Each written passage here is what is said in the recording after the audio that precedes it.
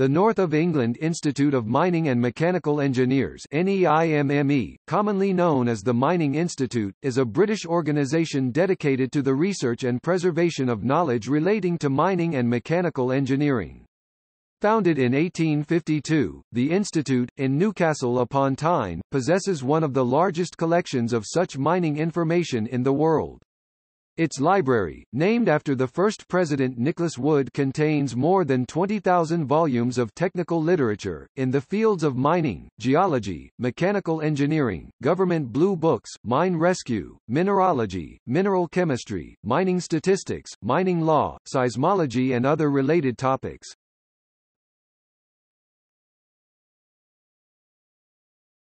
Topic. Background The origins of the institute stem from William Turner, minister of the Hanover Square Chapel, just behind the position of Newcastle Railway Station. He began Newcastle's first Sunday school, a focus of light and learning for the town. One of his students, John Buddle, became a viewer mining engineer and wealthy mine owner, and member of the Literary and Philosophical Society and the Natural History Society of Northumberland, Durham and Newcastle upon Tyne now the Natural History Society of Northumbria. Buddle became a major influence on the Durham and Northumberland coalfield, the king of the coal trade, in 1816, Buddle devised a system of diverting underground ventilating currents that is in use today. He did not live to see the impact of his legacy, as he died in 1843, nine years before the founding of the Institute. His papers and place books were deposited at the Institute. Following an explosion at Felling in 1812, the Sunderland Society was set up to improve safety where gas was present in mines. The committee secured the services of Sir Humphry Davy, inventor of the safety lamp, in 1815. Despite changes, explosions continued, culminating in a devastating explosion at St Hilda Colliery in which 52 persons were killed. The South Shields Committee recommended the introduction of government inspections of mines the education of mechanical engineers, leading to the first Government Inspection Act of 1850. A coroner's court held at the Mill Inn at Seaham in 1852 suggested it would be advantageous to form a society to consider the prevention of accidents in coal mines. At a meeting of colliery owners, viewers, and others interested in the coal trade on 3 July 1852, it was proposed to form a society to discuss the ventilation of coal mines, prevention of accidents and other items connected with the general working of coal mines. It was to be called the North of England Society for the Prevention of Accidents and for other purposes connected with mining, and Nicholas Wood would be chairman. The title actually adopted was the North of England Institute of Mining Engineers, changed in 1870 to North of England Institute of Mining and Mechanical Engineers. A committee was appointed to draw up rules and the inaugural meeting was held on 3 September 1852 at which Wood delivered the inaugural address at the Lecture Theatre of the Literary and Philosophical Society. In this address he gave the aims of the Institute. Wood was president from the Institute's inauguration in 1852 until 19 December 1865 when he died aged 70.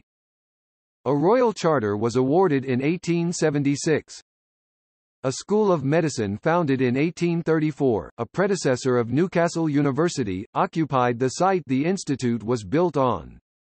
The College of Physical Science in Newcastle, linked to Durham University, was founded in 1871 following some years of discussion and promotion by the institute. Its classes were taught in the institute's lecture theatre. It was renamed Armstrong College and was for many decades part of the University of Durham, later to become King's College and then Newcastle University. Similar institutions to the institute were set up in other parts of Britain and informal collaboration led to the creation in 1889 of the Federated Institution of Mining Engineers, comprising NEIMME, Chesterfield and Midland Counties Institution of Engineers, Midland Institute of Mining, Civil and Mechanical Engineers, South Staffordshire and East Worcestershire Institute of Mining Engineers and later the North Staffordshire Institute of Mining and Mechanical Engineers, the Mining Institute of Scotland and the Manchester Geological and Mining Society. The name was changed to the Institution of Mining Engineers in 1898. The constituent societies kept their identity within the national institution and many, like NEIMME, exist today as local societies of the Institute of Materials, Minerals and Mining.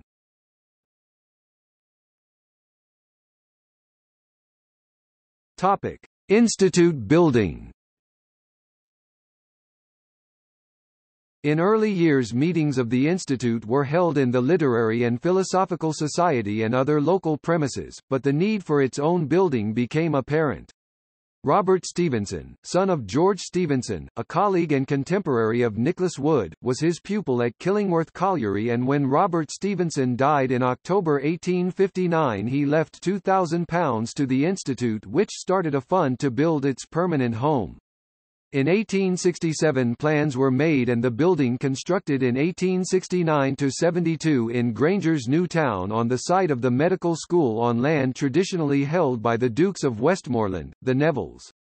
It comprises the Wood Memorial Hall containing the library, lecture theatre and other small rooms and Neville Hall which was primarily office space that from the beginning until recently was let to various mining and other organisations, such as the Coal Trade Association, Blyth and Tyne Railway, Freemasons and the Law Society. The architect was Archibald Matthias Dunn, whose father, mining engineer and mines inspector Matthias Dunn, had been present at the Institute's inaugural meeting. It was built at the height of the English Gothic revival and shows a mixture of Gothic and Tyneside classical themes. The library has high windows and a sky-lit barrel-vaulted ceiling, the highest point 39 feet above the floor, with stained glass windows by Cook of London.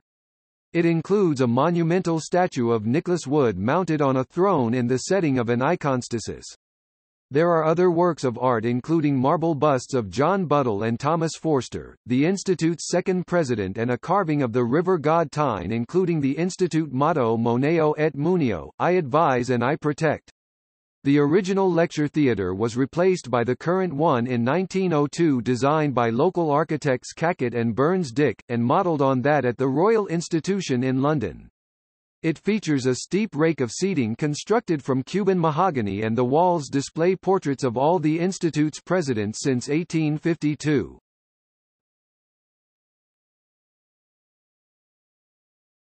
Topic. Activities As already noted, the Institute was concerned not just with measures to reduce accidents, but with the theory, art and practice of mining in general. So through meetings, presentation, discussion and publication of research papers, investigations, experimental work, and so on, the Institute tried to fulfill these aims. Working groups were set up, for example on tail ropes, flameless explosives, mechanical ventilators and mechanical coal cutting. There were research committees on such as strata control, set up in 1924 and safety in mines reporting, for example on horse haulage. In later years there was also collaboration with Armstrong, King's College in areas such as ventilation and mine lighting. The institute also worked with National Coal Board committees such as the Divisional Strata Control Research Committee, now, with mining a diminished industry in the UK, the Institute continues publicising developments through its public lecture series.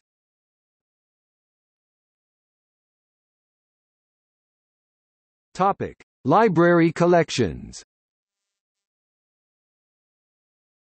The collections include books, statistical compendia, mines inspectors' reports, journals, government committee reports, archives, tracts, maps, photographs, technical reports, artworks and there is a searchable catalogue. In recent years library material has been transferred to the Institute following the closure of institutions such as the NCB Coal Research Establishment at Stoke Orchard, the NCB Mining Research and Development Establishment at Bretby, the British Coal Utilisation Research Association and the Centre for Lifelong Learning at the University of Newcastle.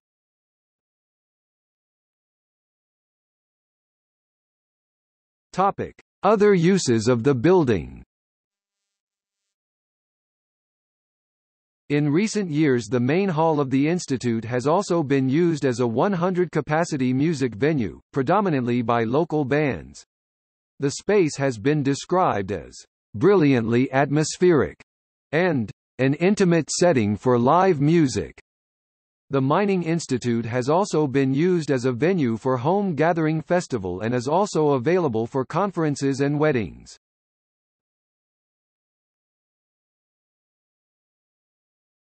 Topic: Gallery.